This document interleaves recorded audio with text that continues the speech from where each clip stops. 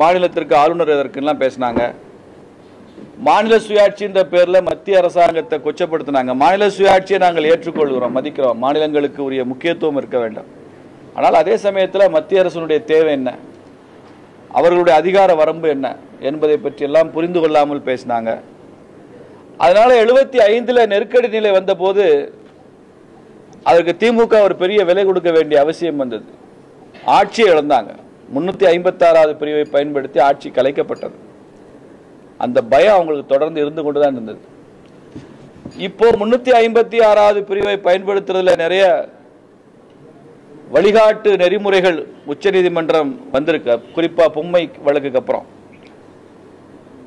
மத்தியில் இருக்கிற பாரதிய ஜனதா கட்சி எப்போதுமே ஒரு மாநில அரசாங்கத்தை கலைக்கிறதுல விருப்பம் இல்லை. தேர்ந்தெடுக்கப்பட்ட ஒரு மக்களாட்சியை கலைப்பதில் எங்களுக்கு விருப்பம் இல்லை. எப்போதெல்லாம் திமுக ஆட்சி தமிழ்நாட்டில் கலைக்கப்பட்டதோ அப்போதெல்லாம் கூட நாங்கள் அதுக்கு எதிர்ப்பு தான் தெரிவித்திருக்கிறோம். மாநிலங்கள் மாநில கட்சிகள் அவர்கள் உரிமைகள்லாம் பாதுகாக்கப்பட வேண்டும் என்பதற்காக. ஆனால் ஒரு அறிவிக்கப்படாத ஒரு எமர்ஜென்சி மாதிரியான ஒரு சூழலை இன்னைக்கு தமிழக முதலமைச்சர் ஸ்டாலின் அவர்கள் உருவாகி கொண்டிருக்கிறார். இது பழைய நாட்களை நினைவுபடுத்துவதாக இருக்கிறது. பழைய கலைஞருடைய நாட்கள். இது நல்லதல்ல. மத்திய அரசாங்கத்துடன் தொடர்ந்து மோதல் போக்கு. மத்திய அமைச்சர்கள் மத்திய அதிகாரிகளுடனான மோதல் போக்கு. அமித்ஷா அவர்கள் வந்தால் கூட முதல்ல இருக்கக்கூடிய முதலமைச்சர் தமிழ்நாட்டுக்கு என்ன செஞ்சாங்க அப்படின்னு கேட்கிற கேள்வி. இப்படி தொடர்ந்து ஒரு ஆன்டகனைசிங் இரிட்டேட்டிங் அப்ரோச் இதை திமுக தொடர்ந்து செய்து கொண்டிருக்கிறாங்க. செந்தில் பாலாஜி அமைச்சர் அவர் மேல ரைடு வந்தா அதுக்கு முழுக்க ஒத்துழைப்பு கொடுக்க வேண்டியது திமுக அரசாங்கம். அமலாக்கத்துறையிட ரைடு என்பது செந்தில் பாலாஜி எந்த ஊழல் செய்திருக்கிறார் என்பதையும் உலகத்திற்கு கொண்டு வரும். அல்லது அவர் தவறு செய்யவில்லை என்றால் எந்த அளவு அவர் நேர்மையானவர் என்பதை உலகுக்கு அறிவிக்கும். அப்போ இந்த ரைடுன்றது நல்லது தானே உங்களுக்கு? தவறு செய்யாத ஒருத்தர் ஏன் பயப்படணும்? ஏன் அச்சப்படணும்? முழுக்க ஒத்துழைப்பு கொடுக்க வேண்டியனே வருமான வரித்துறை அதிகாரிகள் வந்தால் அவர்கள் மீது தாக்குதல் நடத்துவது ரைடுக்கு ஒத்துழைப்பதில்லை சம்மன் அனுப்பிச்சா விசாரணைக்கு போறதில்லை. அதை ஆதரித்து ஒரு முதலமைச்சர் பேசுகிறார்.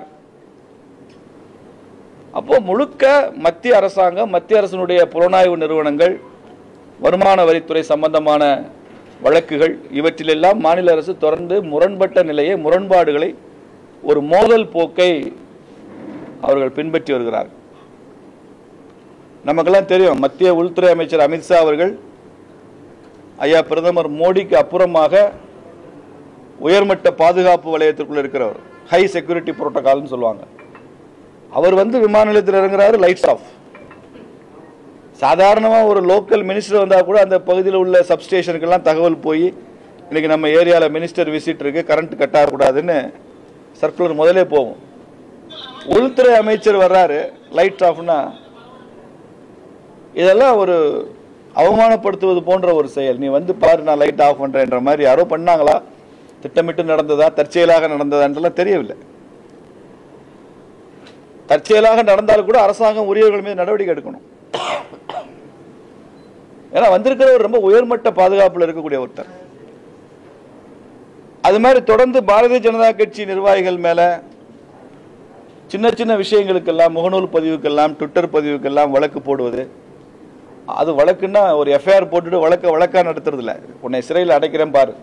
அப்படின்னு ஜெயிலுக்கு அனுப்புறது. அப்படிதான் நேற்று எஸ்டி சூர்யாவை மாநில செயலாளர் அவர் அவரை சிறைக்கு அனுப்பிச்சிருக்காங்க.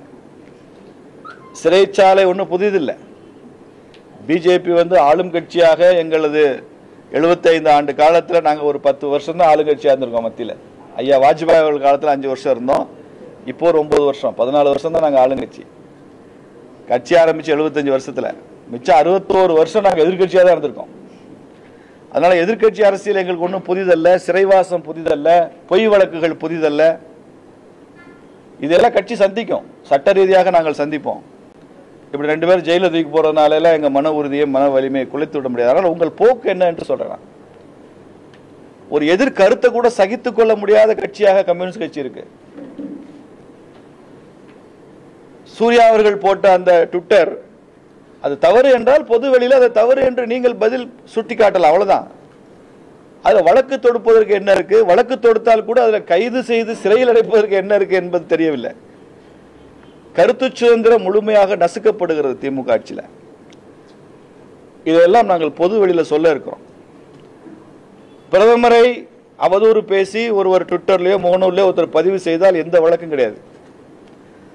அதை பாரதிய ஜனதா கட்சியினுடைய சமூக ஊடக பிரிவு வந்து சைபர் கிரைமுக்கு அதை வழக்காக கொண்டு சென்றால் கூட புகாராக கொண்டு சென்றால் கூட அதிகபட்ச சிஎஸ்ஆர் கொடுப்பாங்க அவ்வளோதான் அதற்கே போராடி வாங்கணும். பிரதமர் மீது அவதூறுனா. ஆனால் முதலமைச்சரை பற்றி சின்னதாக ஏதாவது ஒரு கமெண்ட் போட்டான் தெரியாமல் போட்டான் உடனே கைது சிறையில் அடைப்பு. முதலமைச்சருடைய கண்ணியத்தை போற்றுகிற கட்சி பிஜேபி அவர் எந்த கட்சியாக இருந்தாலும் அப்படிதான். பக்கத்தில் இருக்கிற கேரளான்னா பினராயி விஜயனுடைய கண்ணியம் அவருடைய மா- முதலமைச்சர் என்று வந்த பிறகு அவர் எட்டு கோடி தமிழர்களுக்கும் முதலமைச்சர் எங்- எனக்கும் முதலமைச்சர் ஐயா ஸ்டாலின் தான். ஆனால் உங்களுக்கும் பிரதமர் ஐயா மோடி என்பதை நீங்கள் ஏற்றுக்கொள்ள வேண்டும் என்று சொல்கிறேன் முதலமைச்சருடைய ம- கண்ணியம் அவரது முக்கியத்துவம் குறைத்து யாரும் அவதூறு பேச பிஜேபி அனுமதிக்காது. அதே மாதிரி நரேந்திர மோடி அவர்களையும் அவதூறு பேச நீங்கள் அனுமதிக்கக்கூடாது. மத்திய மூத்த அமைச்சர்கள் பாரதிய ஜனதா கட்சியுடைய மூத்த தலைவர்கள் அவர்களையும் அவதூறு பேச நீங்கள் அனுமதிக்கக்கூடாது.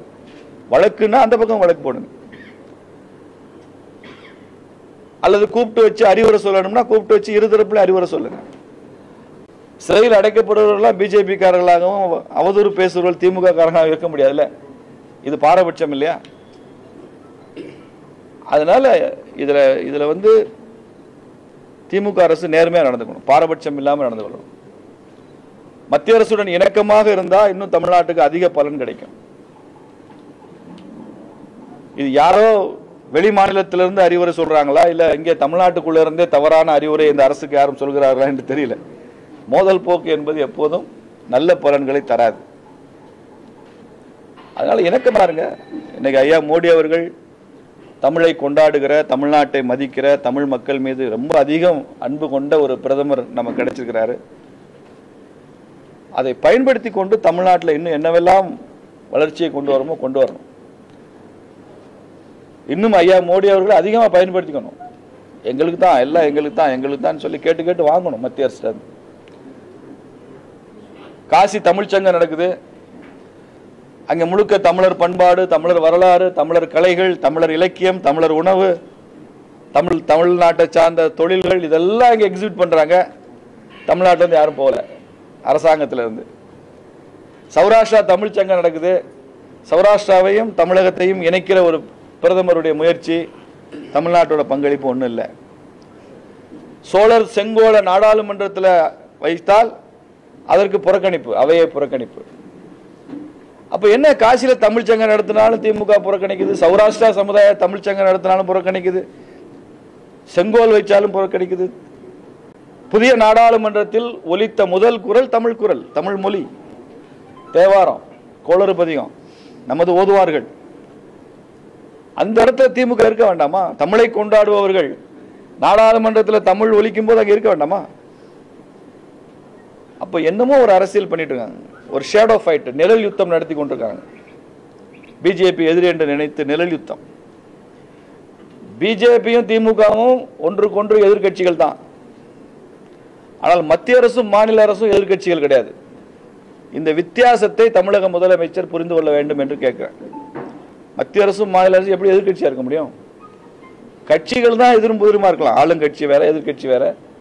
நாங்க உங்களை விமர்சனம் பண்ணுவோம் நீங்க எங்களை விமர்சனம் பண்ணுங்க. ஆட்சி என்று வரும்போது இணக்கமான சூழலை உருவாக்கணும் மோடி அவர்கள் சொல்றாரு டீம் இந்தியா அப்படின்னு சொல்றாரு. டீம் இந்தியா என்ன அர்த்தம்? பிரதமரும் அவருக்கு கீழே உள்ள அனைத்து மாநில முதலமைச்சர்களையும் கொண்டதை தான் அவர் அடிக்கடி டீம் இந்தியான்னு சொல்றாரு. இந்தியாவின் குழு. பிரதமர் சொல்லுகிற அந்த டீம் இந்தியாவில் ஐயா ஸ்டாலின் இருக்காரு. மம்தா பானர்ஜி அக்கா இருக்காங்க. பக்கத்தில் பினராயி விஜயன் இருக்காரு. நிதிஷ்குமார் இருக்காரு. ஜெகன்மோகன் ரெட்டி இருக்காரு. தான் டீம் இந்தியா. பிரதமர் முதலமைச்சர் எல்லாம் சேர்ந்து இந்த தேசத்தை உயர்த்துவோம்னு சொல்றாரு பிரதமர். ஆனால் நீங்கள் பிரதமர் வேறு முதலமைச்சர் வேறுங்கிறீங்க.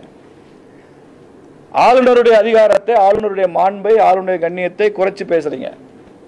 கொச்சப்படுத்துறீங்க. பொது வெளியில. இந்த போக்கை திமுக தவிர்த்துக் கொள்ள வேண்டும் என்பதுதான் சிவாஜி கிருஷ்ணமூர்த்தி ஆளுநர் பற்றி அவங்க அம்மா பற்றி ஒரு மாதிரி பேசியிருக்காங்க. அதான், அதான். தொடர்ந்து ஆளுநர் மேல அவதூறு. குறிப்பா இந்த சிவாஜி கிருஷ்ணமூர்த்திங்கிறவர் அவர் என்னெல்லாம் பேசினார்னு ஆடியோவில் வருது. அதுக்கெல்லாம் அவர் ஜெயிலில் அடைச்சா எத்தனை நாள் ஜெயிலில் போடுறது? எத்தனை செக்ஷனில் போடுறது அவரை? அதனால் எந்த நடவடிக்கையும் இல்லை. ஆளுநரை பற்றி பேசினாலே இங்கே நடவடிக்கை இருக்காது. இந்த போக்கு வந்து தமிழக நலன்களுக்கு தமிழக வளர்ச்சிக்கு நல்லதல்ல. எதிர்கால இளைஞர்கள் அரசியலுக்கு வரும்போது அவங்க நல்ல பாடங்களை கற்றுக்கொள்ளணும். திமுக துரதிருஷ்டவசமாக இளைஞர்கள் கற்றுக்கொள்வதற்கு நல்ல பாடம் இல்லை அரசியல் பாடமே இல்லாமல் போச்சு. அந்த வருத்தத்தில் தான் அந்த கருத்தை உங்களிடம் பதிவு செய்கிறேன்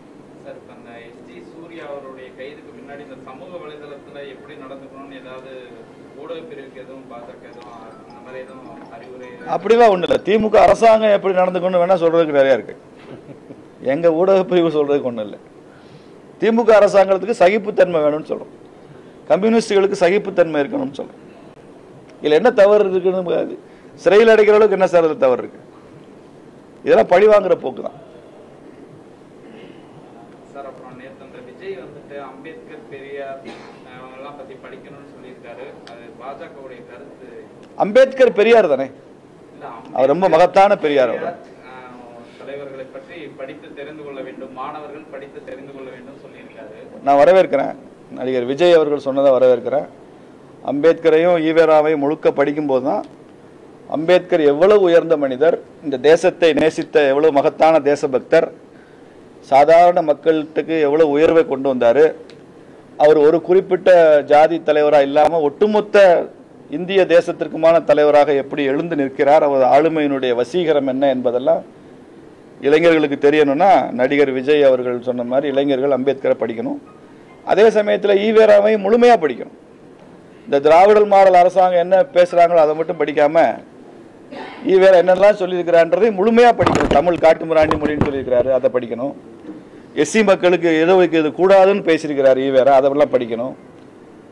பட்டியல் சமுதாய மக்களுக்கு அவர்கள் யோகியதை விட அதிகமான இடஒதுக்கீடு தரப்படுகிறதுன்னு ஈவேரா ஒரு காலத்தில் சொன்னதா சொல்கிறாங்க அதெல்லாம் வாசிக்கணும். அதெல்லாம் உண்மையாக இல்லை பார்த்து தெரிஞ்சுக்கணும்.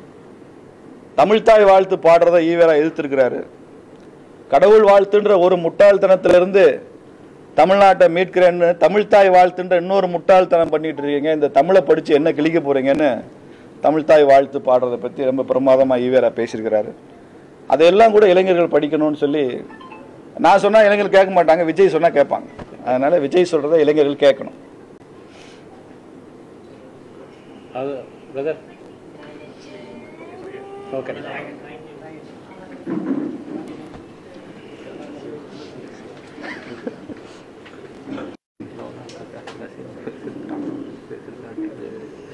கூகுள் எல்லாம் அந்த பப்ளிக் மீட்டிங்கில் இப்போ பேச வேண்டாம்